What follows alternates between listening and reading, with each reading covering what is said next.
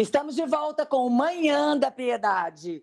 E agora nós vamos fazer a reflexão do Evangelho de hoje, sexta-feira, dia 26 de março. O Evangelho de São João, capítulo 10, a partir do versículo 31, e diz assim: Os judeus pegaram pedras outra vez para atirarem Jesus. Então Jesus disse: Eu mostrei a, você, a vocês muitas coisas boas que vêm do Pai. Por qual delas vocês estão para me apedrejar?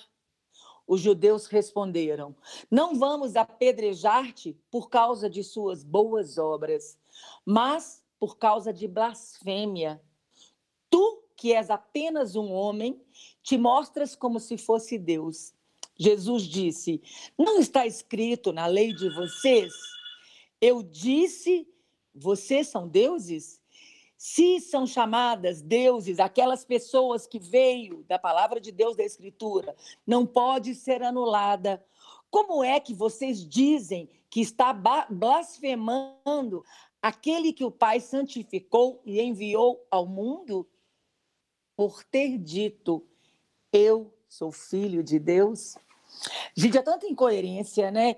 É, os fariseus estão aqui mais uma vez querendo apedrejar o Senhor.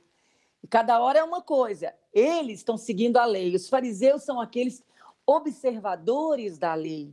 Então, eles. O que, que é uma pessoa que observa a lei? Está lá para fazer cumprir.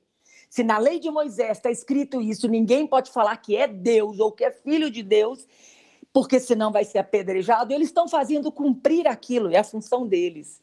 E Jesus, então, fala que é o Filho de Deus. E Jesus vem falar que a lei está falando isso.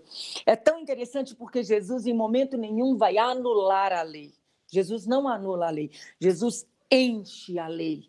Ele enche a lei de, de, conteúdo, ele dá o porquê daquela lei. Não é só obedecer por obedecer, é como o primeiro mandamento fala: amarás o Senhor Deus com toda a tua alma, com toda a tua inteligência e de todo o teu coração. É isso que a palavra de Deus quer nos ensinar. Que a gente ame o Senhor, sim, mas que a gente entenda o que a gente está fazendo. E é isso que Jesus vem falar para eles, para que eles entendessem a lei, não só obedecessem cegamente, mas que entende, entendessem com a mente, com o coração, amassem e fica mais fácil. Conosco também é assim.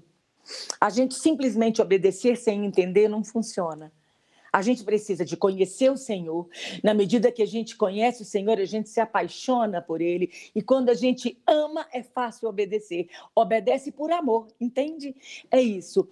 Uh, hoje é sexta-feira, domingo já é domingo de ramos. E a gente começa a caminhada da quaresma. E o final da quaresma, a caminhada da Semana Santa que você, nesses dias agora, coloque seu coração aberto, reflita realmente pela cruz que o Senhor vai passar, por todo o caminho da cruz que ele vai viver por amor a nós, por amor a nós, para que a gente tivesse de novo aquele paraíso perdido lá atrás, a gente tivesse de novo acesso a ele através da morte e ressurreição do Senhor. Que você viva essa Semana Santa pleno de amor diante da presença do Senhor e que busque a verdadeira conversão, que é ter o Senhor no coração.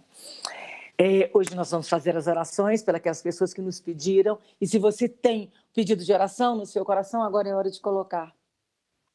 Senhor, hoje eu peço pelo Braulio, eu peço pelo Pablito, eu peço pelo Antônio José e todas as pessoas que têm sofrido com o Covid, todas as famílias enlutadas, que teu Santo Espírito console, sustente, abençoe e conduza.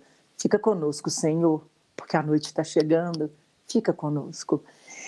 Ah, gente, assim a gente encerra hoje o programa de hoje, dessa semana. Muito obrigada pela sua companhia. Muito obrigada porque você acompanhou e teve conosco todo o tempo. Que Deus te abençoe, que Deus te proteja. Bom fim de semana. Até segunda-feira, se Deus quiser.